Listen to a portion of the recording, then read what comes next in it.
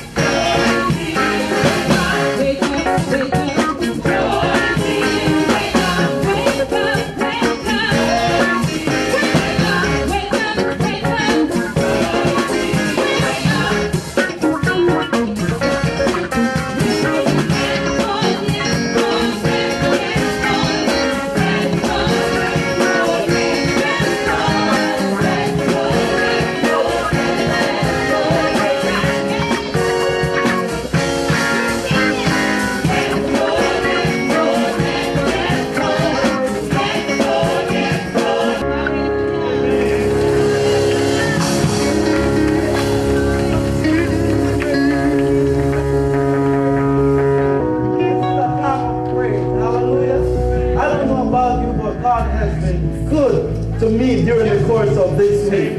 God has been awesome. And I serve an awesome God. And, when I come into church, I need to praise God like he needs to be praised because he's a wonderful God. He woke me up this morning.